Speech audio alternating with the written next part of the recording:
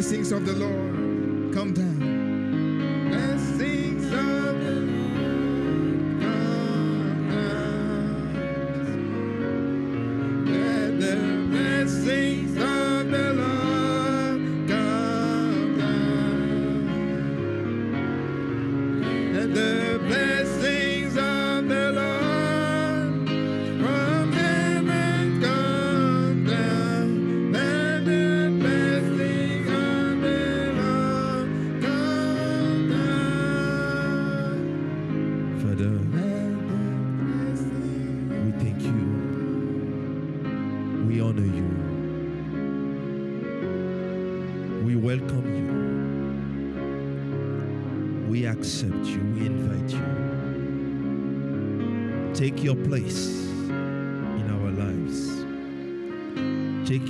in our midst so that you be exalted above all things.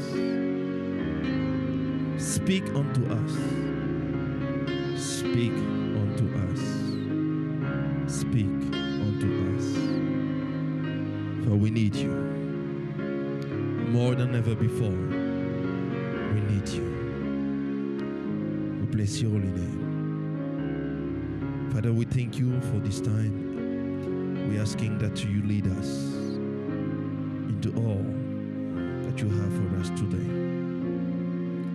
Grant us a heart of good ground, that is a good ground, a heart to hear thy word, to hear thy voice, a heart that can understand what you say and what you tell us, a heart that can see, and a heart that can even, Lord God, bear fruit.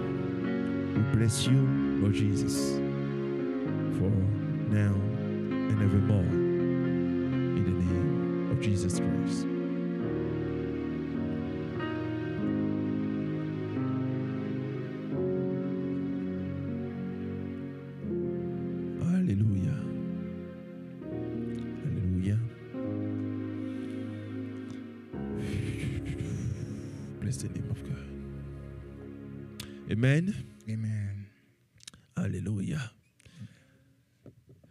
Believe today we're gonna have a uh, a quick word that will uh, build up on what the Lord has given us last Sunday on hearing God's voice. Hallelujah. I believe last Sunday uh, the Lord has helped us to go through different verses, different chapters, different things of the word. And today we want to speak on the same topic. So it will be the part two. Uh, if you haven't have the opportunity, the grace to, to see or to hear what the Lord has already said, I will invite you to look for it in the part one that was last Sunday. Hallelujah. Today is July the 4th. I believe uh, it is uh, the the nation's anniversary of uh, independence. Hallelujah. But I want to decree and declare that nation won't be independent, that that nation will be dependent on God. Hallelujah. Hallelujah. We need a nation that is dependent on God. Hallelujah.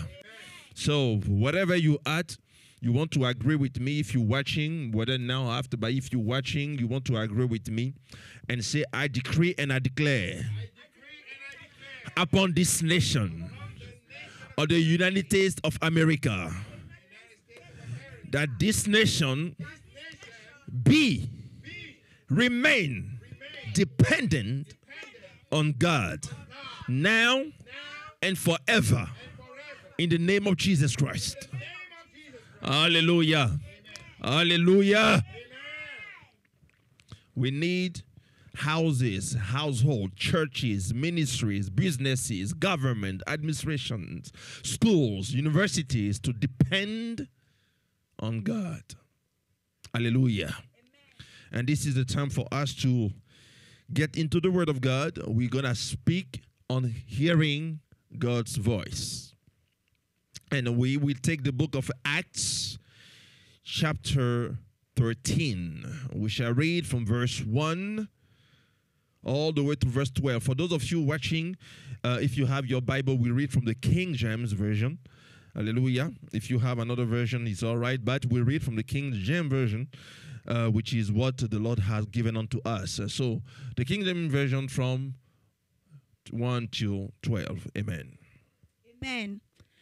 Act chapter 13, starting from verse 1 to 12. The word of God says, Now there were in the church that was in Antioch certain prophets and teachers, and Barnabas and Simeon, that was called Niger, and Lucius of Cyrene, and, and Manaen, which had been brought up with Herod the Tetrarch and Saul.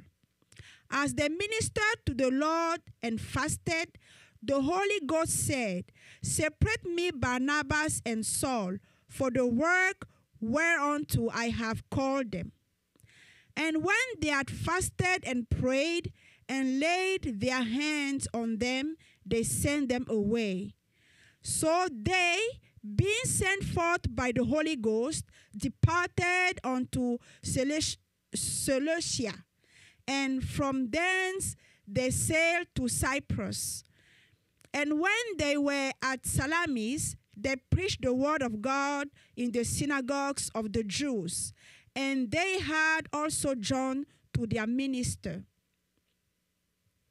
And when they had gone through the isle unto Paphos, they found a certain sorcerer, a false prophet, a Jew, whose name was Bar Jesus, which was with the deputy of the country, Sergius Paulus, a prudent man, who called for Barnabas and Saul and desired to hear the word of God. And Elymas the sorcerer, for so is his name by interpretation, withstood them, seeking to turn away the deputy from the faith. Then Saul, who also is called Paul, filled with the Holy Ghost, set his eyes on him and said, Oh, full of all subtlety, subtlety and all mischief, thou child of the devil, thou enemy of all righteousness, wilt thou not cease to pervert the right ways of the Lord? And now, behold, the hand of the Lord is upon thee, and thou shalt be blind, not seeing the sun for a season. And immediately there fell on him a mist and a darkness, and he went about seeking some to lead him by the hand. Then the deputy, when he saw what was done, believed, being astonished at the doctrine of the Lord. Amen. Hallelujah. Amen. Amen. Amen. This word of the Lord is a certain word. The word of God as a whole, from Genesis to Revelation. The portion that is given unto us today speaks on hearing God's voice. Um, before I start, I want to just establish one thing. Many people have believed that the Holy Ghost is just the power of God. That's what they say. They say it's just the power of God, which is not true. Uh, a power cannot talk. Hallelujah. A power cannot talk. So if the Holy Ghost is just a power of God, then your God, you don't know him. Because the Holy Ghost is not just a power of God. Hallelujah. The Word of God has established how the Holy Ghost was grieved. The Holy Ghost has been spoken to lie to from the book of Acts when uh, Ananias and Sapphira lied. The word of God said that Peter said, It is not unto me that you lied, but unto the Holy Ghost. Hallelujah. And here we see how the Holy Ghost spoke in the book of uh, uh, uh, the, the, the, the, the, same uh, epistle of uh, Paul, Paul says, The Holy Spirit speaketh expressly in the latter time. So the Holy Ghost is not just a power around who does not know what to do and then look for somebody to just fall on it. Uh uh Hallelujah. The Holy Ghost is God. Amen.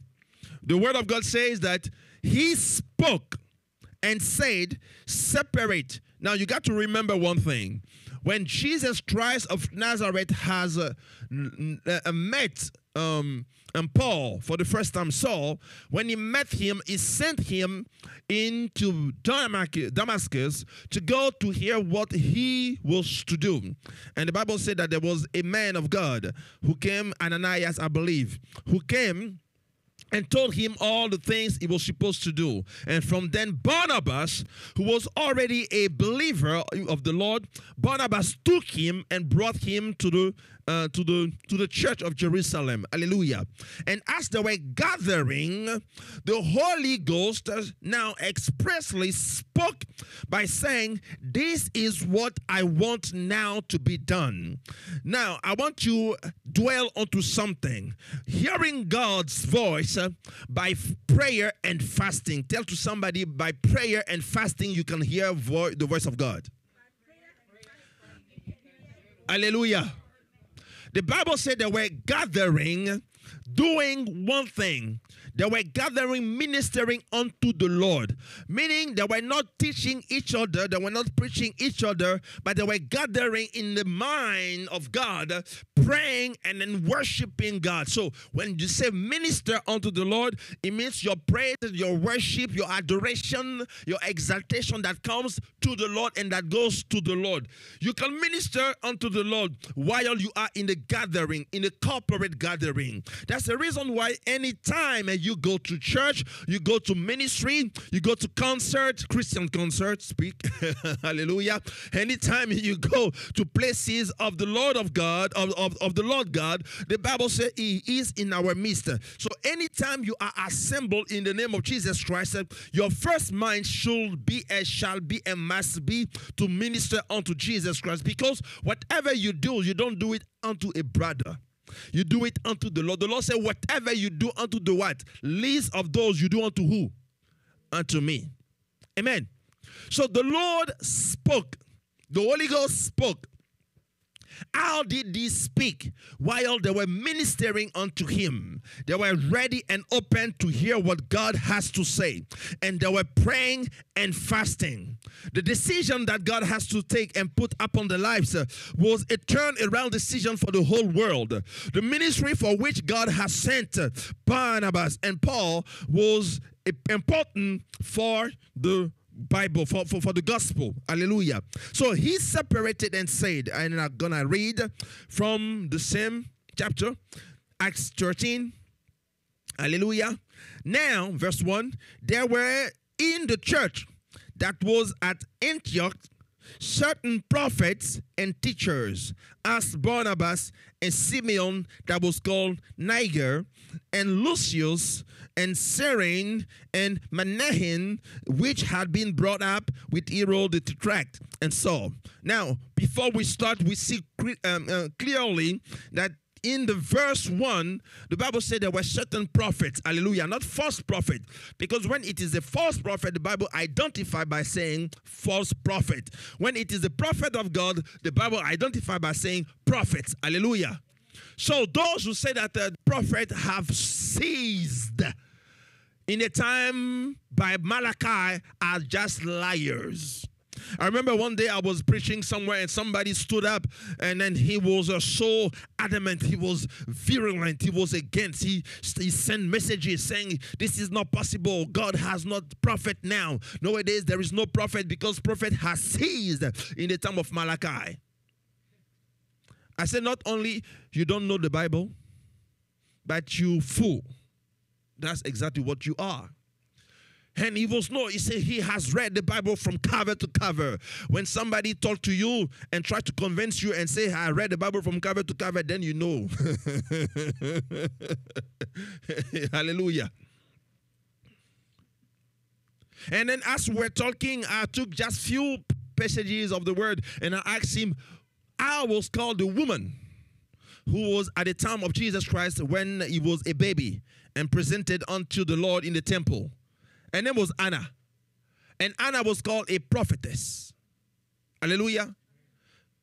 If she was a prophetess, then how did the prophet sees in Malachi in the Old Testament? How did the Lord call John the Baptist? Hallelujah. Prophet. So if John Baptist is prophet, how is this that now the prophet sees in the Old Testament? If the Bible says here there was a man who called, his name was Agabus. Agabus, the Bible says he was a prophet who came unto Paul and said unto Paul, uh, he didn't say unto Paul, but Paul was gathering with the brother. He came, he took a belt of somebody, and he says, The one, the person to whom that belt belongs to, this is what gonna happen. And he described the things Paul was going gonna through, hallelujah, was going to go through. And then here we say there were certain prophets Certain can be 100, can be 200, can be 1,000, can be 2, can be, but it is at least more than one. Amen. And that man did not understand. The reason why he did not understand is because he said that God told him that prophets have ceased in the Old Testament. We're talking about hearing God. And I asked him, which God? Hallelujah. Which God told you that prophets of God have seized from the Old Testament. And he said, My father spoke to me, and my father speak to me. I said, mm. Your father, the one you're talking about, is not the one of the Bible. Because your father you're talking about, if he was the one of the Bible, he would not contradict himself. He has no business of telling you something that he has never said. He has no business of telling you something that is the contrary of what he has already said. So, which God have you heard? He said, I hear God's voice. Mm. Maybe you heard a teaching. Maybe you heard a preacher. Maybe you heard anything, maybe your own mind, but you haven't heard God. But he was convinced, he was firm and I took him, I said, okay, I want you to tell me just two things. In the beginning, when Christ was presented in the temple, how many people were there according to the scriptures? He said, I don't know. I said, okay, take your Bible. He went through it. He read, read, read, read, and then when he came in the place where the Bible say Anna was a prophetess, he skipped it.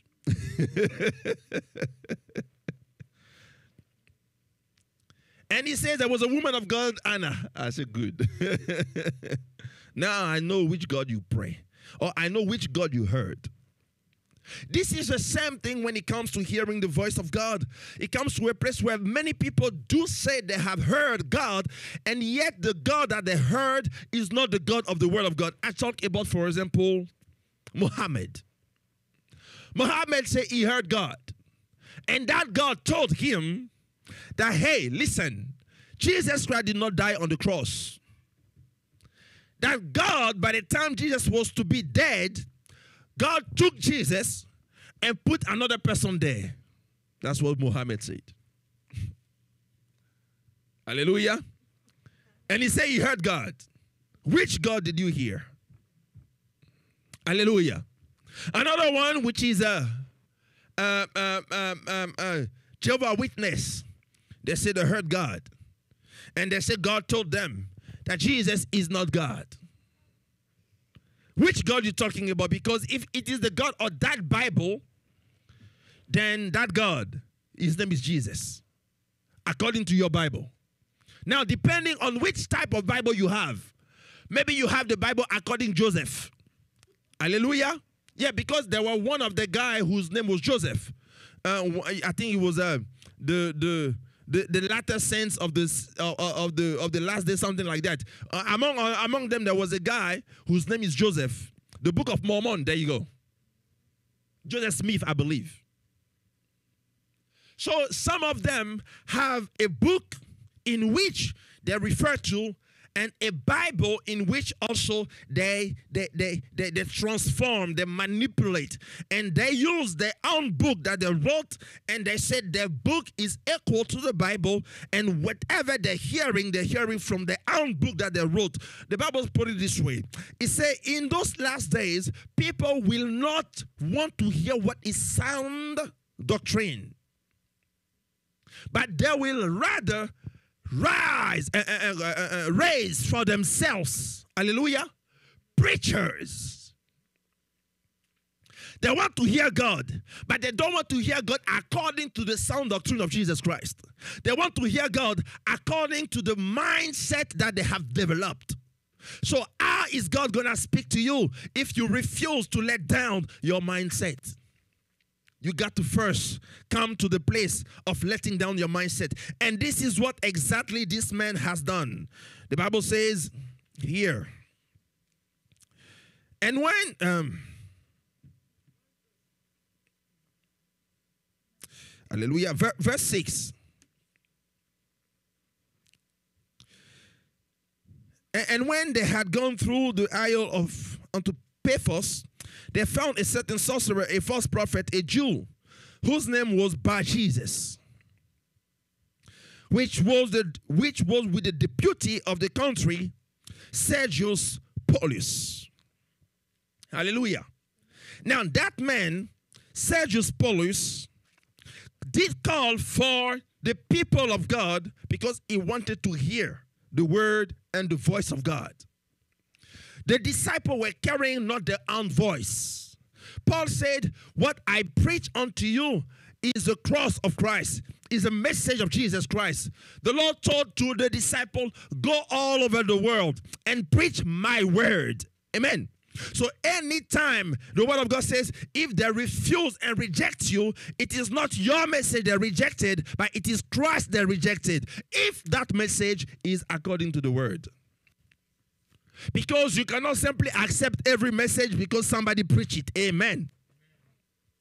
Is that message according to the word of God? If that message is not according to the word of God, your duty is to reject it.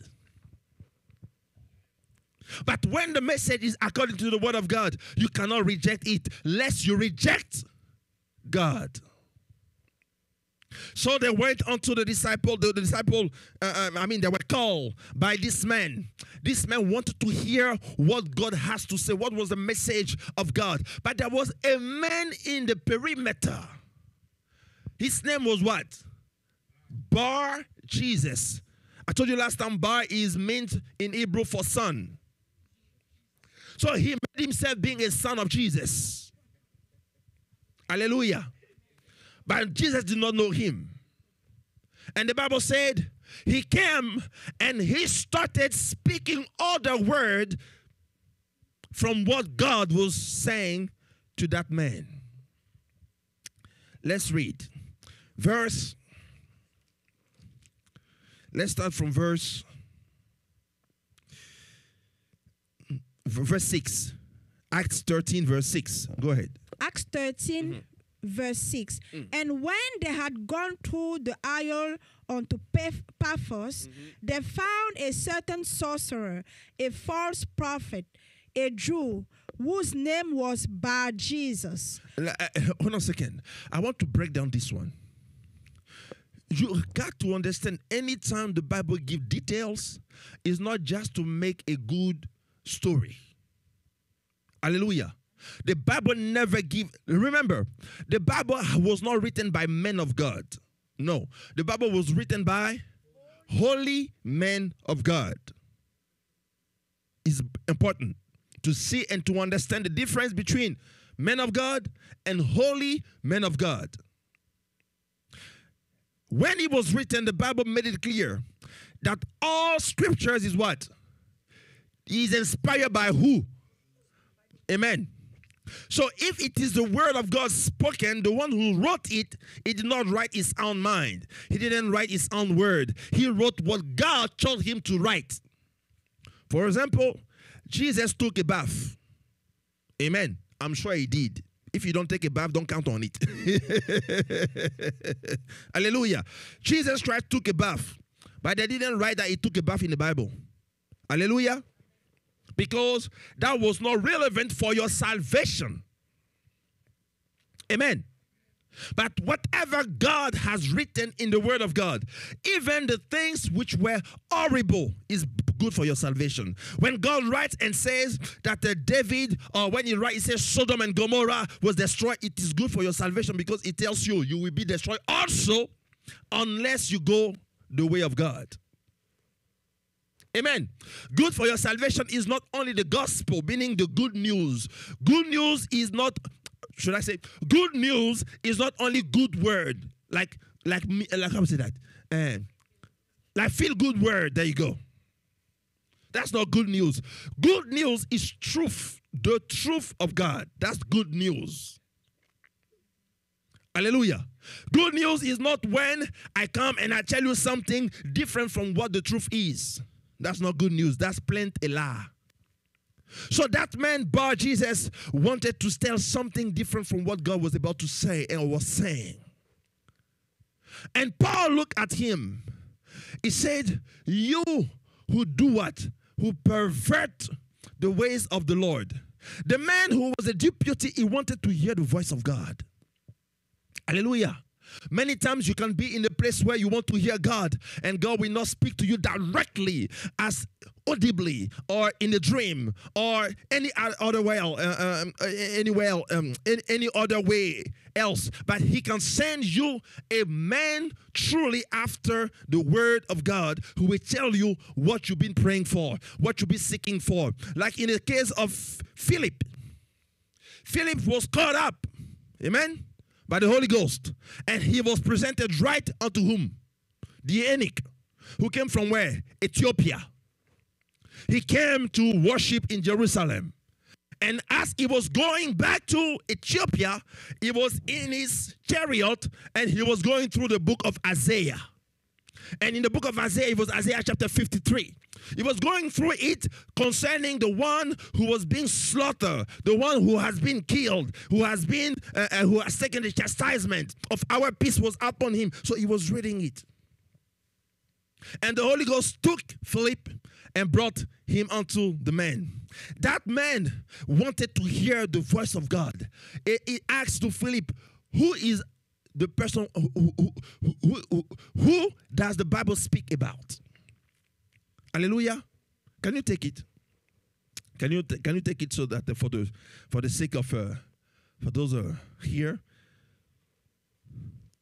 Philip was translated so that uh, he can give, Hallelujah, the word.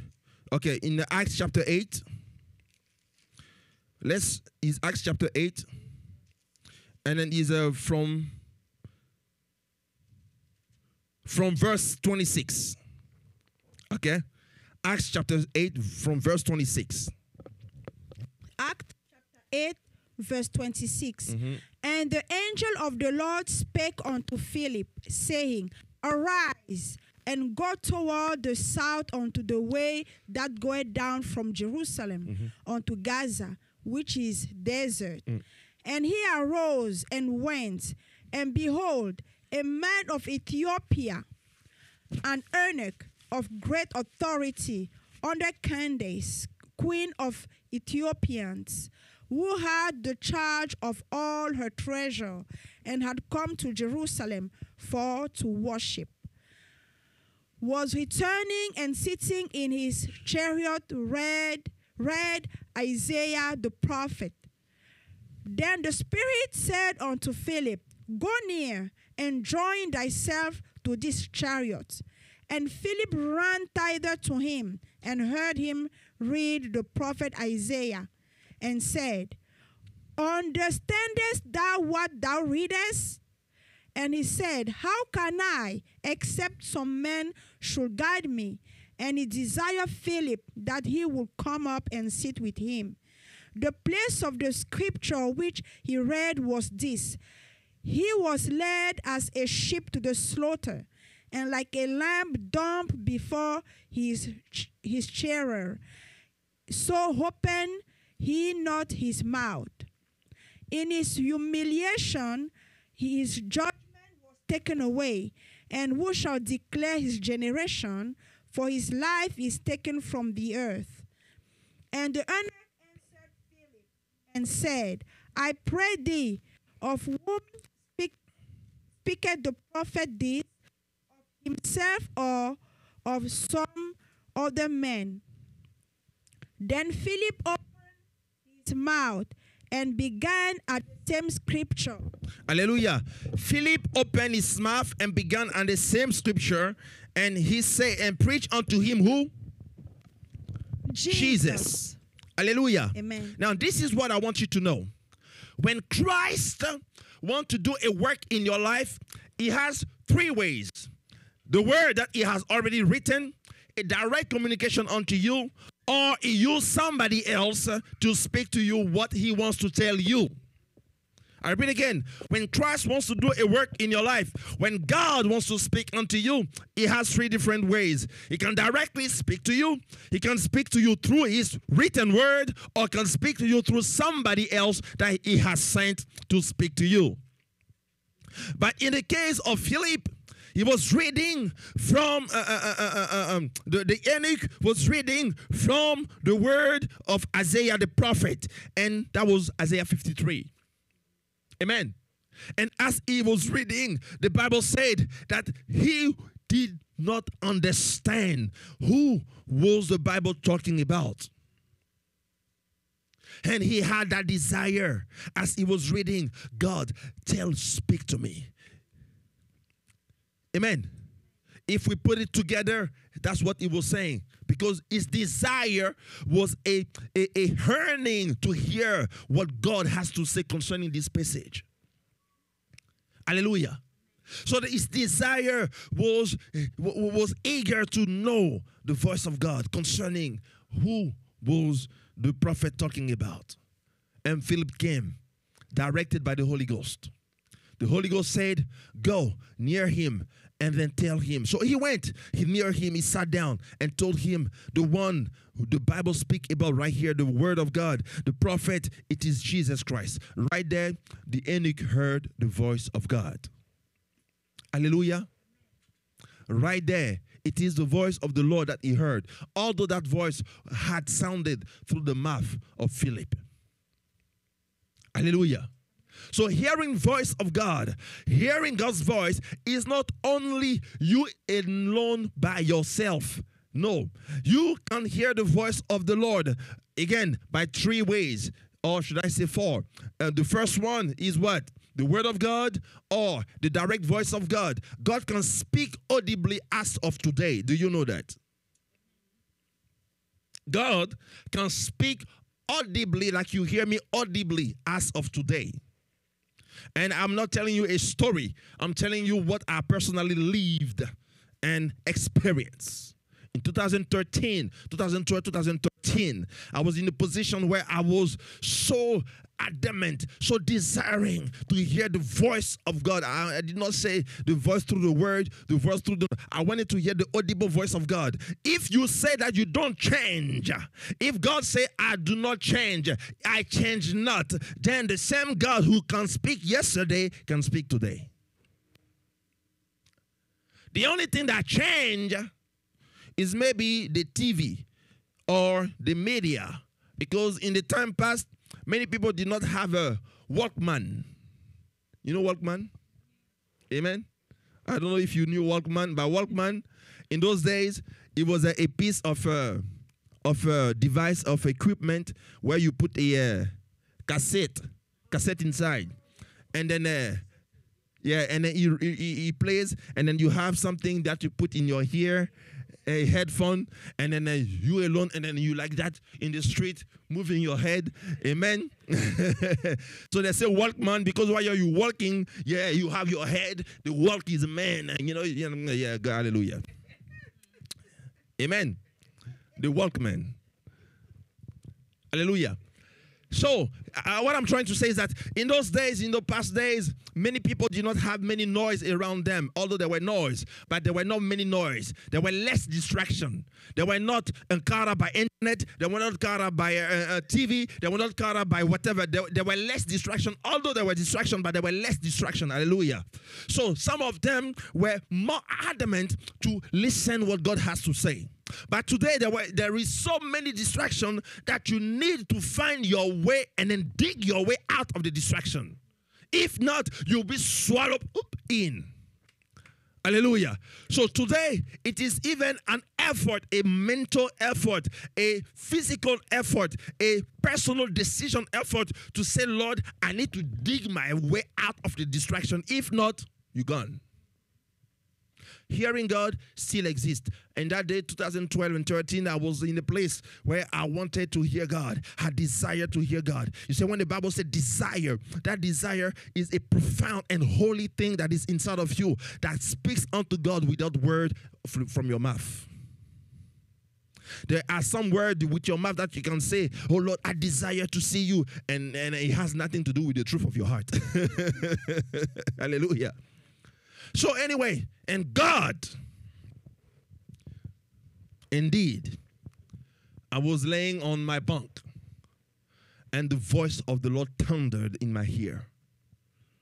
I still need to go back to my writing to know whether it was the left or right, but it was one of them anyway.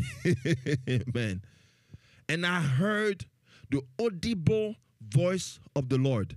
That day, I thought I will die, or I thought I was dead. It was sounding. It was it, was like a thunder mixed with uh, many waters of ocean, like a, a, a, a atomic bomb. It, it, was it was terrible. And when I heard that, I jumped and I screamed, "No more, no more!" Hallelujah. I remember in the book of uh, Exodus, many people of the children of Israel, they wanted to hear God. They said, Moses, why is always you God speak to? Are we not also prophet? Are we not also children of God? Why is God not coming to speak unto us? Tell him we want to hear him. God said, okay. Tell them they want to hear my voice. No problem. Let everybody come and gather at the feet of the mountain. I shall come and speak. The Bible said when he came, there was a darkness. Hallelujah. And the Bible said he was in the midst of that darkness. There is darkness and darkness, they're not the same. Amen. He was in the midst of that darkness and he spoke. The Bible said when they heard maybe the breath of it. They say, ah, Moses, please go tell him to, to be quiet. they told him, No, no, Moses, just, just God, please speak to Moses and then we will listen through him. Hallelujah. They stopped. Hearing the voice of God is not a simple thing but it is a true thing also. Meaning, God can give you the grace to hear what He has to say through means that it's choosing.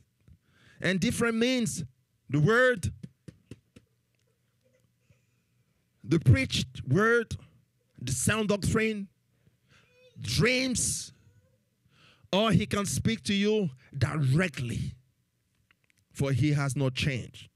So here, that man wanted to hear what God has to say. He called for the disciples, for the apostles. But there was another man who was a false prophet trying to pervert. So, how do you pervert the ways of the Lord? When you come to somebody and you do like the devil, the devil said to Eve, Did God tell you not to eat from the uh, not to touch the tree the fruit, the tree that is in the midst. He tried to pervert the word of God by using some of what God said with what God did not say. If God says, I want you to lay down, He did not say, I want you to rest. Are you following what I'm saying? There are key instructions when God speaks. Like when he spoke unto Moses, he said, I want you to what? Speak to the rock to give water out of it. Moses did what? He struck the rock. Although the miracle happened because the end of it was the children of Israel needed water.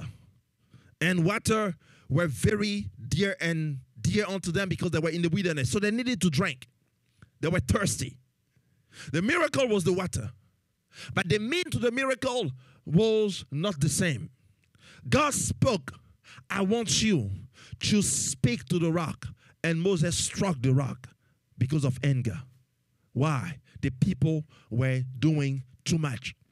Hearing the voice of God can come in a place where you may not understand what is God saying. But if you pay attention to what is saying, you may not understand. But if you pay attention to do what he's saying, along the way you can understand. When God speaks unto you, what He expects from you is a move. What He expects from you is an obedience, uh, uh, uh an obeisance. Hallelujah. Being what? Obedience. Thank you. Obeisance en français. Hallelujah. What God expects from you is an obedience to be able to say, Yes, Lord. Speak, thy servant listen. And when you listen, if the Spirit of God is in you, what happened when you hear the voice of God is that the Spirit of God inside of you already will help you know God is speaking because it testify in you.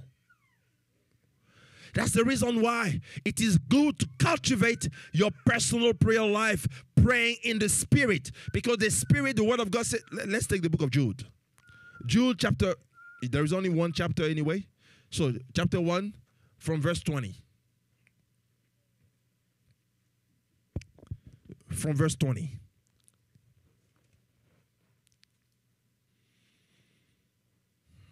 Jude chapter 1 from verse 20. The servant of Jesus Christ and brother of James, to them that are sacrificed mm-hmm. by God, are sanctified by God the Father. Verse 20, verse 20. You are, you are reading verse 1. Verse 20. Verse 20. Mm-hmm. But he be, but he beloved, building up yourself on your most holy faith, praying in the Holy Ghost. Hallelujah. Amen. The word of God speak unto you and I. He said, beloved, build up yourself in your what? Your most holy faith. Remember, the word of God does not describe details simply for the sake of literature. The Word of God describes details because it wants to let you know exactly what you are to do. Build up yourself in your most holy faith, praying in. Can you read again? Read again. Put it back on the screen. He, beloved, building up yourselves mm-hmm. on your most holy faith, praying in the Holy Ghost. Hallelujah. Amen. Remember, there is a key that God gives unto us in order to open our hearing. Whether our physical hearing our heart hearing, our spirit hearing. There are keys he gives unto us. Remember last Sunday we spoke about the keys that was given unto Samuel. Samuel heard God, but could not receive the instruction that God wanted to tell him. Although he heard God, did God was the one calling Samuel? Yes. Hallelujah. It was not confused. It was indeed God calling Samuel. But when God called Samuel, God has many things to tell unto Samuel, but he did not say it. Why? Because there was a key that Samuel needed to have in order to position himself to hear what God has to say. Hallelujah. Another key they gave in Acts chapter 13, they were ministering unto the Lord. That was a key. And as they were ministering unto the Lord, they ministered unto the Lord in prayer and fasting. And then what happened? God spoke. The Holy Ghost spoke. It's another key. Hallelujah. Another key is also to lay down at his feet. Lay and rest at his feet. By doing so, we say dream. He speaks through dreams. Another key, build up your most holy faith. Build up your most holy faith. I shared with you last time that the word build here is meant for charge.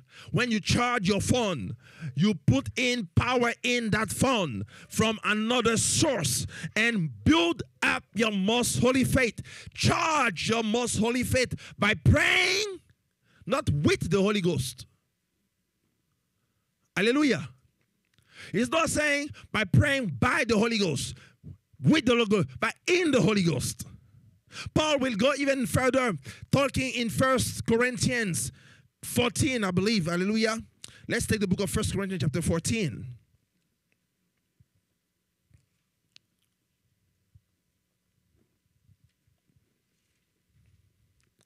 First Corinthians 14. Let's read from verse 1. Corinthians chapter 14, starting from verse 1. Follow after charity and desire spiritual gifts, but rather that he may prophesy. For he that speaketh in an unknown tongue speaketh not unto men, but unto God, for no man understandeth him. Howbeit in the spirit the howbeit in the spirit he speaketh mysteries. Hallelujah. Amen. That's what Jude said. Speak praying in what? In the spirit. And Paul said, when you speak in an unknown tongue or a divine tongue, you speak in what? In the spirit. What did he say here? Verse 2. It says, He that speaketh in an unknown tongue speaketh not unto men, but unto God. For no man understandeth him, albeit what? In the spirit he speaketh mysteries. If you take time to break down what the word of God speaketh when it comes to tongues, and then you go a little further, let's actually take it. Let's take it in the same First Corinthians chapter 14. Hallelujah. In First Corinthians chapter 14, let's let's speak over here. Let's go in verse 6. First Corinthians chapter 14, verse 6. Now, brethren, if I come unto you speaking with tongues, what shall I profit you, except I shall speak to you either by revelation or by knowledge or by prophesying or by doctrine? And, and, and even things without life giving sound, whether pipe or harp, except they give a distinction in the sounds. How shall it be known what is piped or harped? For if the trumpet give an uncertain sound, who shall prepare himself to the battle? So likewise he, except he utter by the tongue words easy to be understood, how shall it be known what is spoken? For he shall speak unto the air. Now, let's break down a little bit. Hearing God's voice, building yourself in your most holy faith, developing a relationship, praying and fasting, seeking the Lord, ministering unto the Lord, and all the tools that God has given, including the reading of the Word of God, including fasting, including speaking in tongues, and all those different things. Now we are talking about tongues. Hallelujah. When we talk about tongues, don't make the mistake of misunderstanding. Tell to your neighbor, do not make the mistake of misunderstanding.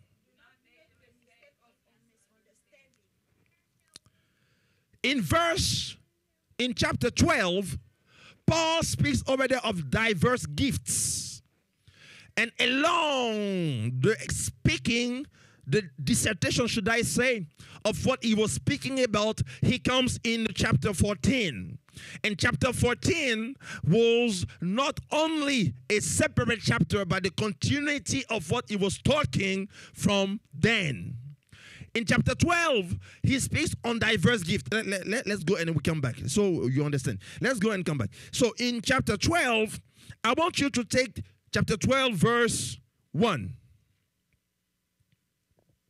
First Corinthians chapter 12 verse one Now concerning spiritual gifts, brethren, I will not have you ignorant. Now, I don't want you to be ignorant concerning spiritual gift. Go to chapter 10, uh, pardon, uh, chapter 8, uh, uh, verse 8, sorry, verse 8.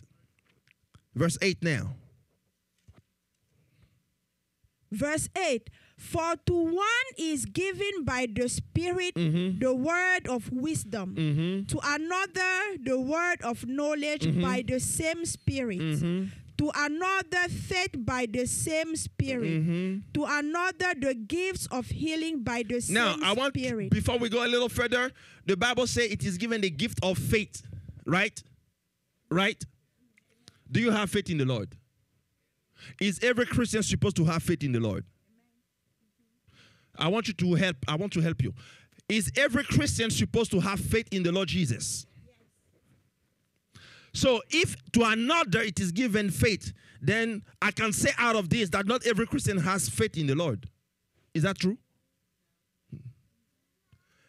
You see what I'm saying? Let me break it down. We're talking about hearing God voice. To one it is given this, to another it is given this, and to another it is given this. And the word of God says in verse 9, to another faith. So, what faith is talking about? Eh, That faith that is supernatural, that calls you to do miracles and operate into the supernatural. You can have faith in the Lord Jesus and yet you are bankrupt of supernatural activity. You understand? So there is the grace of faith and the gift of faith. The grace of faith is what causes you to believe in the Lord. The gift, gift of faith is what you operate in as a ministry. They're both faith, they're not the same.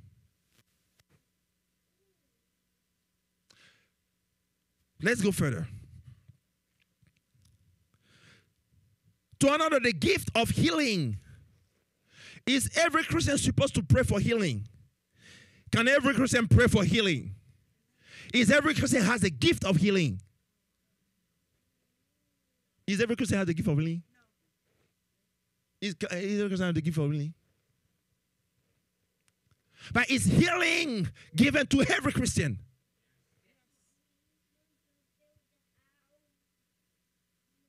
Hallelujah. And then he goes further, he says what? What's that? We verse 10. To another, the working of miracles. To another, prophecy. Is every Christian prophet? Is every Christian called to prophesy? Can every Christian prophesy? You say Christian. I say Christian. Hallelujah. I want to say Christian, which is a French. and I say Christian. Hallelujah. Amen. To another, discerning of spirits. Now, let me break down a little bit on this one. It says the discerning of spirit is not given to everybody. Now, you ask you, you, uh, you need to ask yourself do you have the Holy Spirit? Do you have the Spirit or discerning the Spirit? According to that word, if the descending of spirit is not given to everybody, then you're left with what? That's not what he's saying. What he's saying is that there are certain people who has a specific gift in the descending of spirit where they can go tap into the second heaven. But each one of us, if you are born in Christ and you have the Holy Spirit, the Bible said the Holy Spirit teaches you what? All truth. Amen. So there is a grace of the discerning of spirit and the gift. They're not the same. The grace which is given unto you at your birth. In who? In Christ. The gift which is given unto you either at birth when you were born, because some gift, when you come on earth, you come with that. Or by operating in the ministry when you desire. Desire the best gift. Verse 10 still and to another diverse kind of tongues. There is a gift of tongues. He says tongues. And the speaking of tongue. No. Gift of tongues and the speaking of tongue. The Bible said the one, Lord help us. In verse let, us go in chapter 14. Chapter 14, it says, verse 2 He that speaketh in an unknown tongue speaketh not unto men, but unto God, for no man understanding him. Albeit in the spirit he speaketh mysteries. Amen. When Paul is speaking and then making a, when the Holy Ghost, okay, through Paul, is speaking, in the same chapter, you can find two things that can be opposite. In the same, that can be opposite not for you or I, but for those who don't have the Spirit to hear what the Spirit says to the church. In the Bible, you can find things one and the opposite. And you think they are opposite, meaning in the sense where they are contrary. No, they are complementary. Hallelujah. So it says, for those who speak in tongue, they don't speak unto men, but they speak unto God. And in the same time, in the same chapter, it says, if you speak in tongue unto men, make sure to translate it. And then when you go in chapter 13 of First Corinthians chapter 13, over there it says, if you speak the tongue of men or angels. Hallelujah. If you understand it, the Lord Jesus says, These are the signs that will accompany those who believe in me. In my name, they will do what? Cast out demons and they shall speak new tongues. So there is a grace of faith and the gift of faith. There is a grace of speaking in, or should I say, the grace of tongue and the gift of tongues. There is the grace of wisdom and the gift of wisdom. There is a grace of prophecy and the gift of prophecy. The grace is what you are to operate in to build yourself in your personal life with Christ.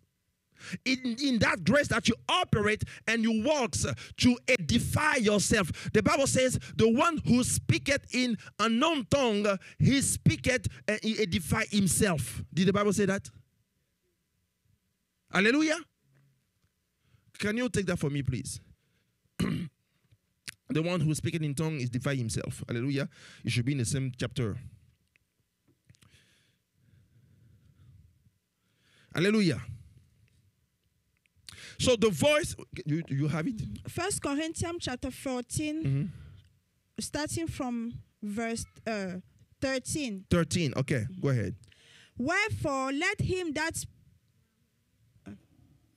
No, no, it's not this one. The one that speaketh in tongue edify himself. Can you take can somebody find that for me, please? Okay, verse 12. Verse 12. Even so, he, for as much as he are zealous of spiritual. no, no, no, no, no, no. No, no. No. Hallelujah. Hallelujah. We, we will get there. But the Bible says also somewhere that he that speaketh in tongue edify himself. The edification is for two things for the church and for also you, because you're part of the church. There are gifts that God gives you, even the hearing of the voice of God, that can be beneficent to the church, to edify the church of God. But for yourself in your personal relationship, eh? Okay, 14.4. Hallelujah. Where we at? There you go. So go ahead. Verse uh, uh, verse 4. Uh-huh. Verse 4, verse 4. He that speaketh in an unknown tongue, Mm-hmm. Yeah, go ahead. he that speaketh in an unknown tongue Mm-hmm. edify himself, Mm-hmm. but he that prophesied prophesieth edifieth the church. Hallelujah. Amen. Now, I want you to understand one thing. Paul did not say that you cannot speak in tongues in the church.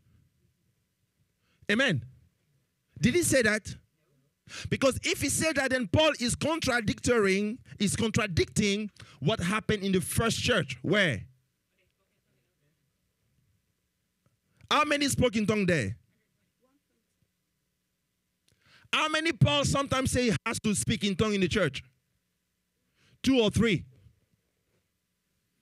Is Paul denying what happened in uh, the Pentecost upper room? Can he do that? Hallelujah. When it comes to your personal edification, to your personal building for hearing the voice of God, God gives you tools. And those tools are for your own a.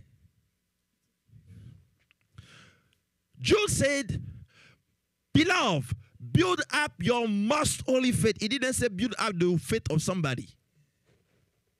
Hallelujah. He didn't say build, although we are called to build the faith of other. I'm trying to, you know, break down few stuff.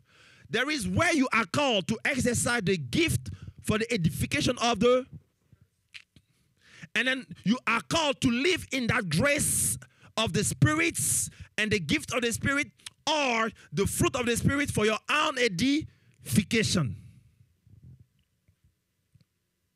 Can we pray to the Lord when we assemble? Can you pray to the Lord alone in your room? Hallelujah. There are things which are given for the assembly so you portray it to the others, and things which are given so that you can edify yourself, charge yourself, so that your most holy faith be able now to be sharpened. Let it put this way God said to Samuel, Samuel, Samuel.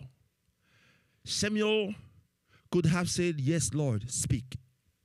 But he didn't. Why? Who remember? Why? Because he thought he was Eli. But who was calling Samuel? Why Samuel, why God did not continue to speak to Samuel what he wanted to say?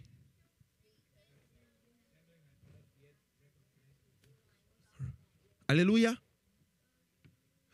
But he, key was given unto him so that he can be able to do it. Huh? He was hearing God already. No. God did not deliver the whole message to Samuel until Samuel positioned himself. Did he? Did God deliver the whole message unto Samuel prior? Samuel said, Speak it, that servant listen. Amen. It was only after Samuel positioned himself to hear what God has to say by telling him, Lord, do as you please, speak for your servant, listen. Then Samuel was given what God has to say. I mean, was given the, the, the, the, the whole the whole instruction of the Lord. In the personal life of Samuel, he needed to hear God in a specific way. God was already speaking to him, but he could not recognize it. So somebody told him, Hey, I perceive that God is about to speak to you or looking to speak to you. Amen. There is God is calling you and God is speak to you. That's not the same thing. Amen. God was calling Samuel. And he wanted to speak to him of things to come. But Samuel needed to have a position so he may hear what God has to say. What do you do? Go when he calls you again, tell him, Speak, Lord, thy servant is listening. So, grace that is given unto you, whether the grace of faith in which you believe in Christ, so that you can operate in certain dimension, the grace of prayer, so you can build up. The Bible said that you ought to pray all the time. Remember, uh, Lord Jesus, thank you. Thank you. It's so much it comes that uh, I'm everywhere. Hallelujah. Paul, when he first time met Jesus Christ, did Paul speak in tongues? He didn't. Hallelujah. When he first times met Christ, he did not speak in tongue. But did he hear Jesus Christ? Hallelujah. Let not make a mistake. The gifts does not save you. Amen. The gift of tongues, the gift of miracles, the gift of healing, the gift of whatever, whatever does not save a soul. Hallelujah. However, when Christ came unto Paul and then gave him that grace uh, to hear him, Paul was able to be introduced in the church of God, in the church of Christ, but he was not speaking in tongues. Those who were baptized in the name of the Lord Jesus, didn't speak in tongue automatically? Some of them did not. The Bible said, for they were only baptized in the name of the Lord Jesus. Hallelujah. And they had to send Peter and John to go in that city to lay hand on them so they may receive what? Hallelujah. Now, their personal relationship with Christ was what caused the church to go to them and to lay hand on them so they may receive the Holy Spirit, which is what? The promise.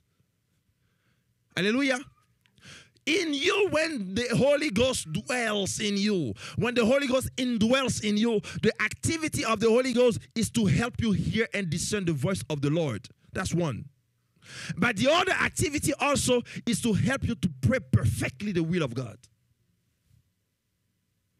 The Holy Ghost in you is to also help you pray the perfect will of God.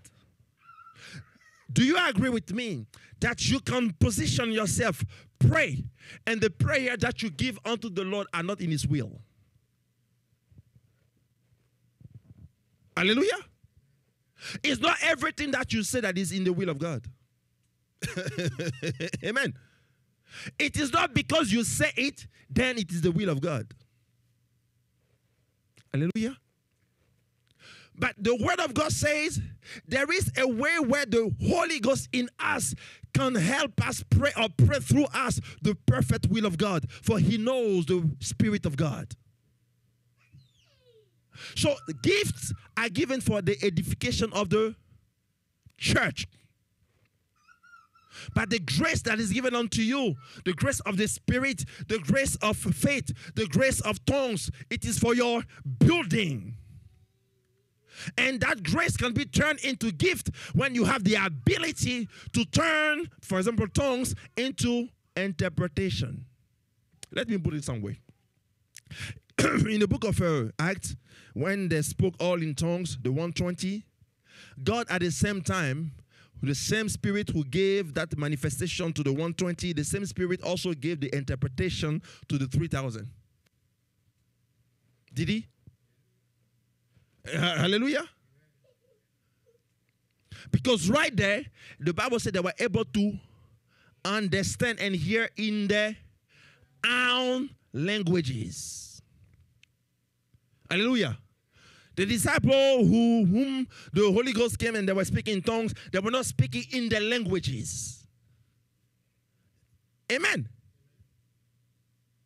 Hallelujah. Imagine that you have 3,000. How long will it take you to speak the whole gospel that you're supposed to declare in everybody languages? It won't be done on one day. Hallelujah. But supernaturally, God has, an, has enabled the children of God, the apostle, to receive tongues, and those supernatural tongues were translated in every one own language. This one was to edify the church. So when Paul said in verse 4 of First Corinthians chapter 14, the one who speaketh in tongues edify himself is not talking about the gift of tongues. When he says the one who speak in tongues speak only to God, is not talking about the gift of tongues. When he speak about the faith that uh, to another it is given faith, is not talking about the grace of faith. Hallelujah. Hearing God, it is a grace that is upon you when you decided to say, Yes, Lord, speak unto me. Hearing God, it is a grace that is upon you when you decide to make Jesus Christ your Savior and your Lord upon your life. Hearing God, it is a grace that is given unto every single Christian. However, some who have not developed the hearing of God has the impression that for them to hear what God has to say, they must speak to the man of God. Hallelujah. And now, unfortunately, it becomes a disruptive occurrence in the church where some people abuse of that and now speak their own mind to the people of God.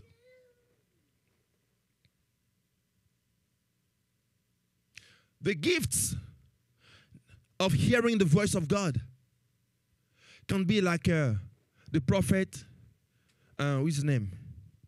Balaam. Hallelujah. Do you remember Balaam?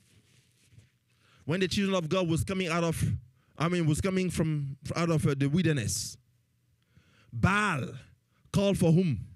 Balaam. To do what? To curse the children of Israel. And what happened to Balaam? What happened to Balaam? The Lord spoke to him. Hallelujah.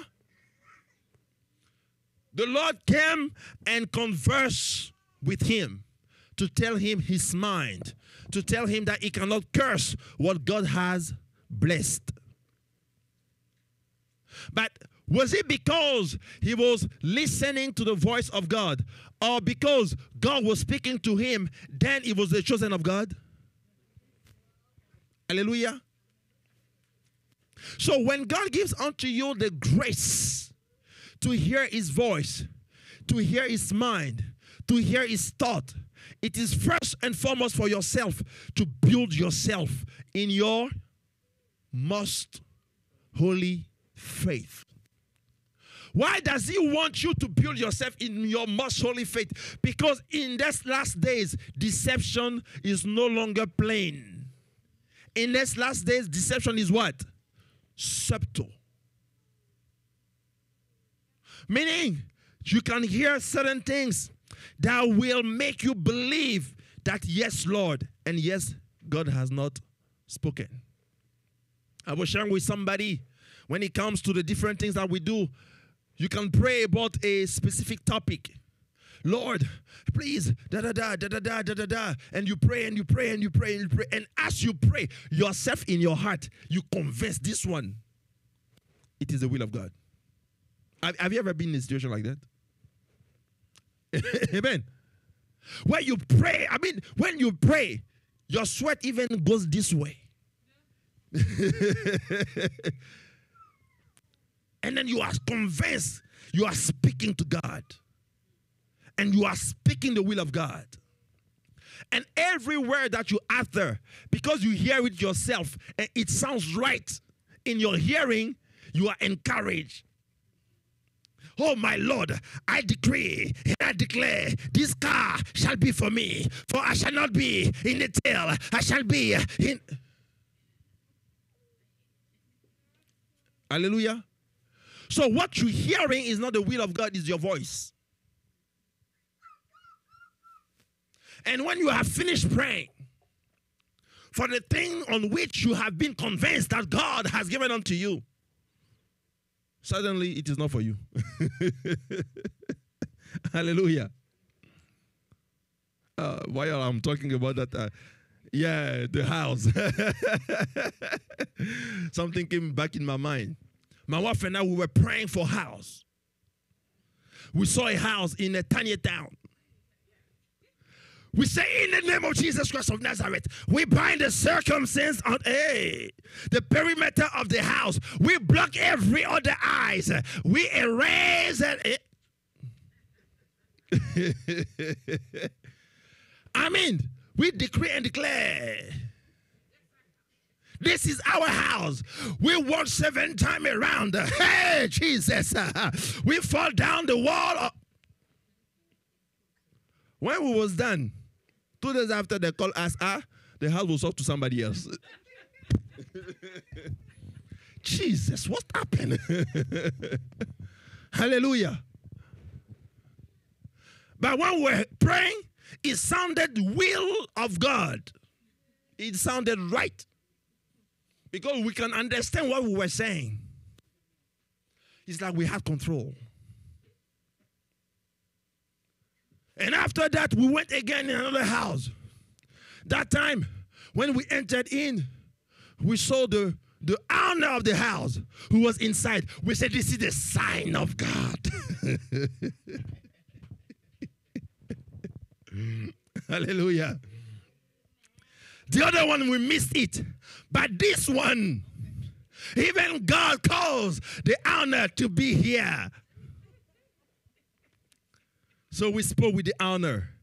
He says, Certainly, surely, I give you my word. I will keep the house for you. We said, Jesus Christ has answered our prayers. So, based on that hearing of our own voice, amen. That's why you got to pray in tongues. Because in tongues, you don't always control what you say. Not always. You never control what you say. Because it is the spirit that pray the perfect will of God. So that you can hear exactly what God wants you to do. So we start praying. And I remember that day, the lady who was helping us to get the house, she said you have to get 1,000 that they call a, uh, a deposit or something. Yeah, it was something, something 1,000 we have to give. Now we start praying for 1,000 because we were certain that this time God has spoken. So, Lord, let the 1,000 fall from heaven. oh, my Jesus. and then miraculously, we had 1,000 and we were supposed to meet the lady on Saturday, and it was maybe two days prior. So we were waiting that without her, that 1,000, we say we're gonna meet her, we will we, we, we, we, we close the deal. And on Friday, there is a friend, Pastor, his name is Pastor, some, I, won't, I won't say his name, amen, who came from Virginia. He came in my house. And he said, uh, with the apartment we were, he said, ah, brother, my and daughter is having so, so, so, and so, and so, and so, so, and so, and da, da, da, da, da, da, and I need help. ah, you pastor and pastor, why you want help from me?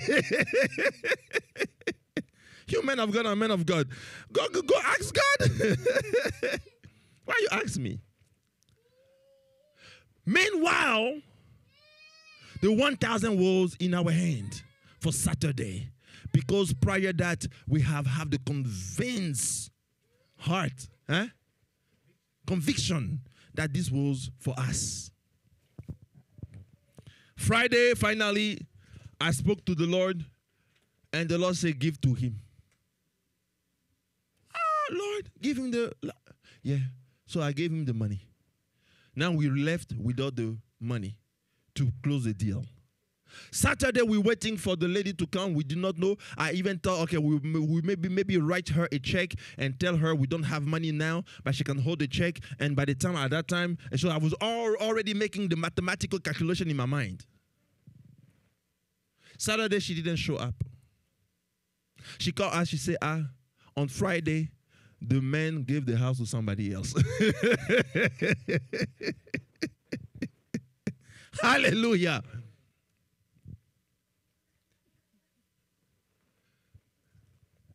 Hearing the voice of God is based on how much you abandon yourselves in the hands of God. Hearing the voice of God is based on how much you let Him speak to you, however He wants to speak to you.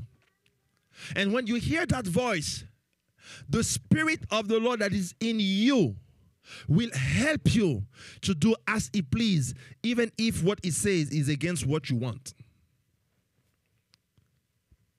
When God speaks to you, it's not always what He says that goes within the pathway of what you want. No. Hallelujah. Although the word of God says that if you delight thyself in the Lord, he shall give you the desires of your heart. So, what is the prerequisite? It is to delight yourself in the Lord. But even when you delight yourself in the Lord, that you are perfectly in the perfect will of God. And that you know He can give you something because you have asked it, because you are even asking it.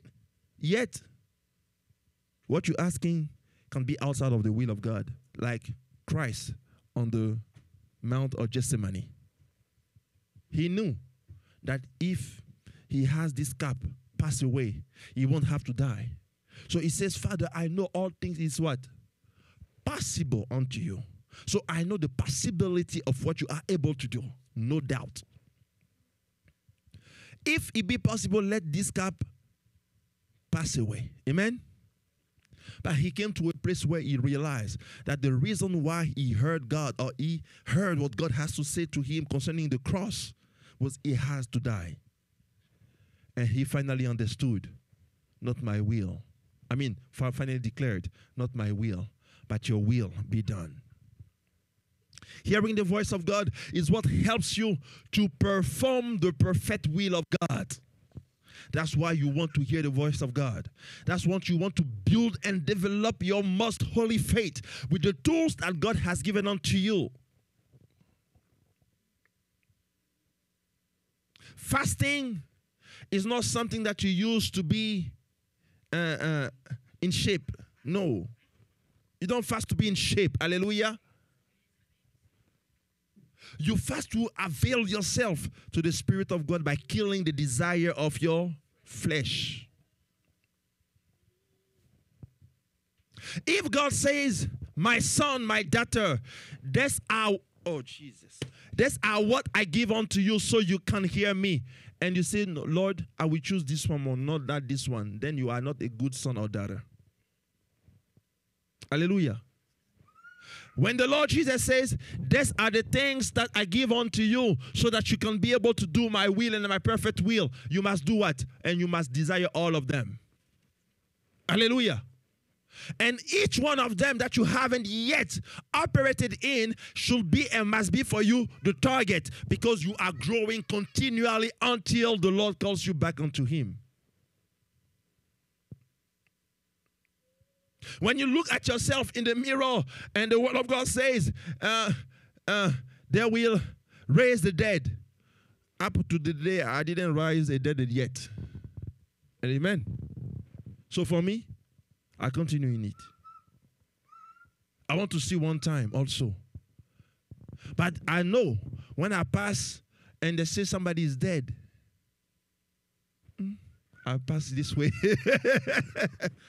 Hallelujah. Uh-huh. Because that gift of faith hasn't developed in me yet of the rising of the dead. So I need to press onto it. To press onto it. And how do I do that? By the grace of faith that is in the Lord Jesus. Developing my personal relationship by continually praying now, when you come to the place like Paul, as I said, when he came to the Lord Jesus Christ to hear God in the beginning, though he heard Christ, but he did not speak in tongues. But the Bible said, did he speak in tongue finally? Amen. Although he did not speak in tongue in the beginning, he finally spoke in that tongue. And he did what? Speak more than all of them. I don't know how much he spoke, but I can imagine that he could no longer even pray in a Greek or Hebrew. Hallelujah. I can imagine him in his personal life, personal edification, that he was a machine of communication to the Lord. Have you ever been in a place where when you pray, you pray, you pray, you pray, you pray, you pray, you pray, you pray, you pray, and after you are bankrupt of words? Or sometimes you repeat the same words. Have you ever been in such place? Hallelujah. The difference with hearing God's voice through the speaking of tongues is that when you speak in tongues, uh, one tongue is how many words? Eh? Infinite words. One tongue is how many words? Infinite words. Imagine that your father tells you that this is my phone line in order to speak directly to me. And you say, No, I, I need to write a letter to the secretary of my father. Then there is a problem. That's what the Catholic do.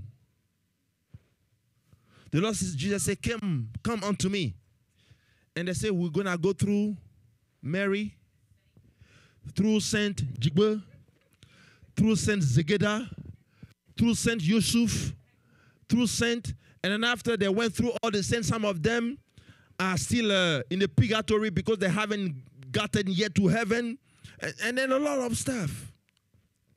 And finally, Jesus is sitting, waiting for them. Hallelujah is a picture. Amen. So the Lord is calling unto us to hear his voice. You can hear the voice of God. You can certainly hear the voice of God through your personal prayer, through your personal fasting, through the word of God, through dreams, through audible voice, through the word that God gives to a brother or a sister. But it is for you to be always connected to the voice of the Lord so that when He speaks, you can recognize His voice automatically. Hallelujah.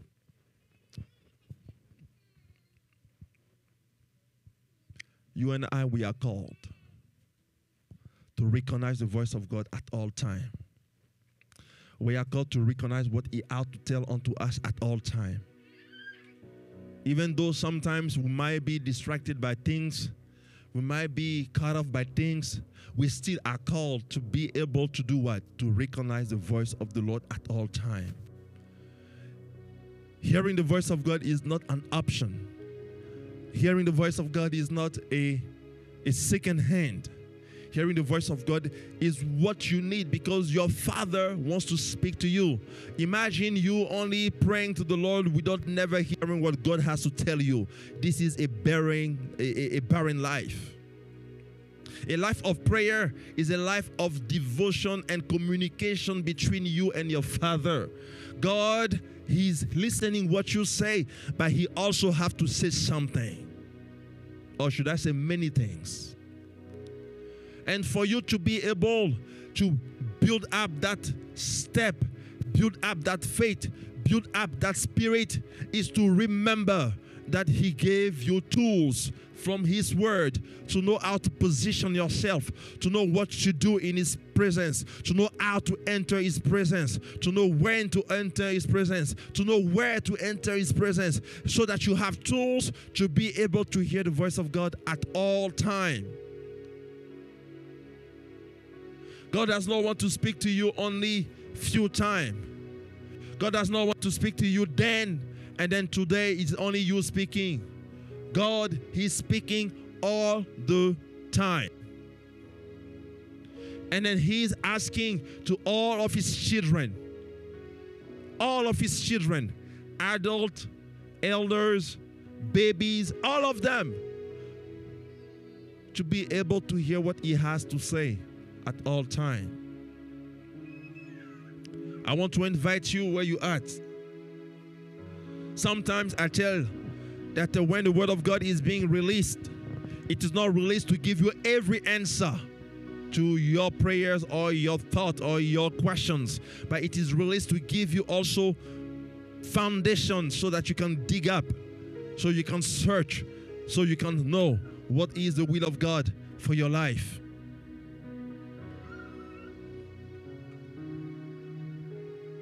Hearing the voice of God is not an opportunity, it is a necessity for our lives, for our souls. Discerning the voice of the Lord is not an occasion, it is a necessity for our lives, for our souls, continually. Use the tools that God has given to develop your inner man, to develop your inner here, to develop your inner faith, so that you'll be able to continually develop and develop and develop. Your reach of growth has no limit as long as you are on earth. Your reach of growth has no limit as long as you live in the body.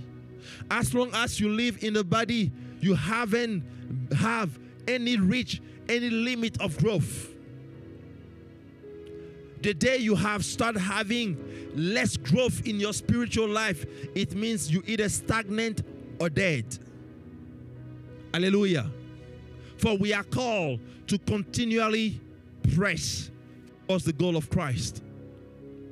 So I want to invite you, wherever you are, to develop the desire, to develop the desire to do what Christ has promised and to receive the promises of God. If it tells you, I want you to dress this way, I want you to eat this way, I want you to sleep this way, you can do all of them because you desire to be with your king. So I encourage you and challenge you to seek all the promises of God. For it says, all the promises of God are yea and amen in Christ Jesus.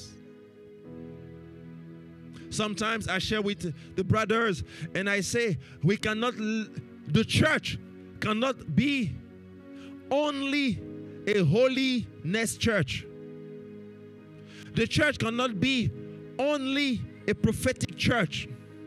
A church cannot be only an evangel- uh, uh, evangelical church. Hallelujah.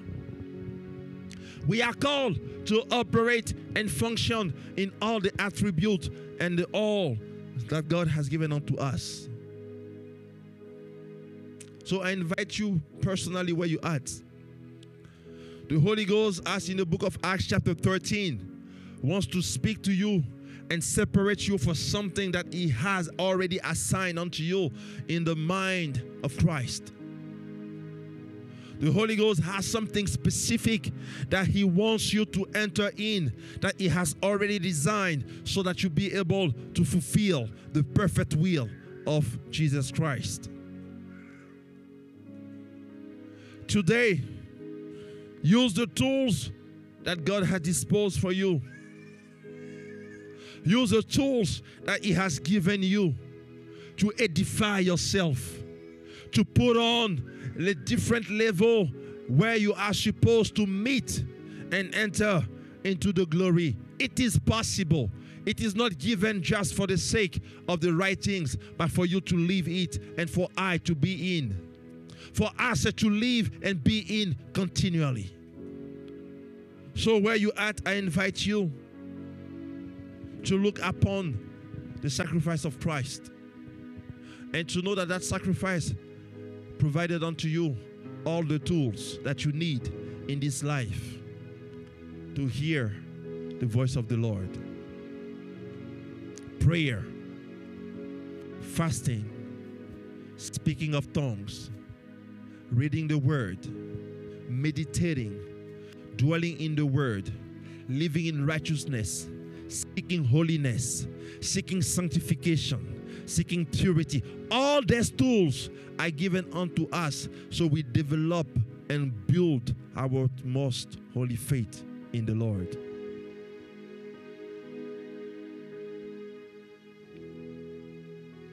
God has many to say.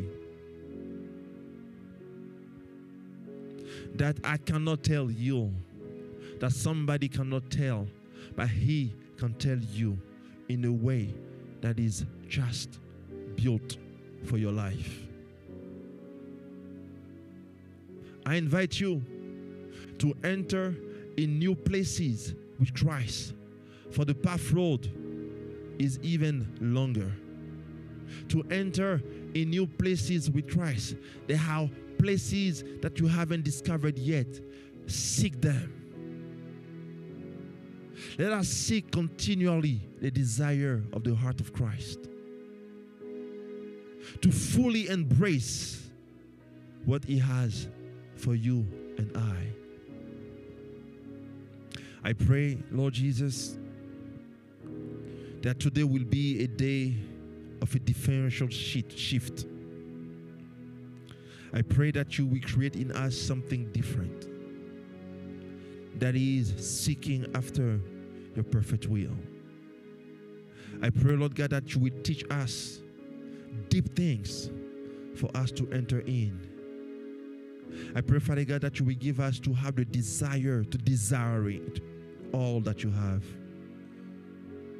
Lord Jesus, I pray that above all, will we carry and love and walk in your love.